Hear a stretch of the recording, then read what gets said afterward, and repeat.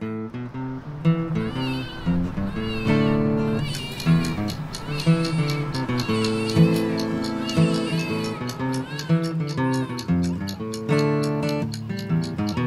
Beth, the baby's awake.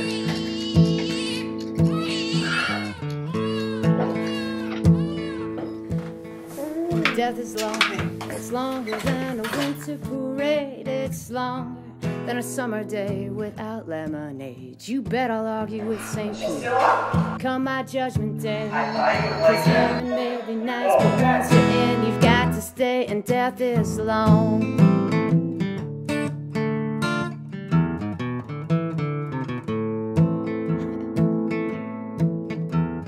It's longer than how late you are when you misplace your key. Uh, Mary Beth, uh, we, we got to talk about some of our spending here.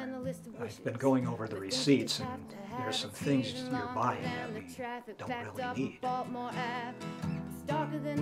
What? I, I don't have anything. Buying what? What do you want me to cut down on? The food? All your snacks? Do you even know we waited all day for you to go to Flavorland today? I need you to tell Joseph to go to the pharmacy right away. Winter parade is longer than a summer day without lemonade. You bet I'll argue with St. Peter. Come my judgment day. Cause heaven may be nice, but once you're in, you got to stay, and death is long. Did you call the ambulance yet? well, call the ambulance. You told me two weeks ago that your food tasted funny.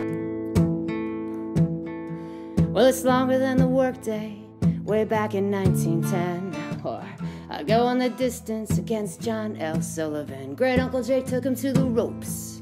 And the power of their swing, man, that's a long three minutes just to stay standing. But death is longer.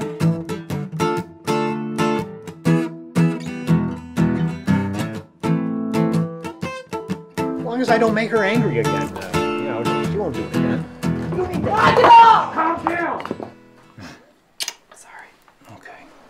Joe, she's dangerous.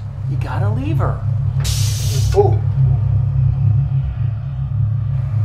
get divorced.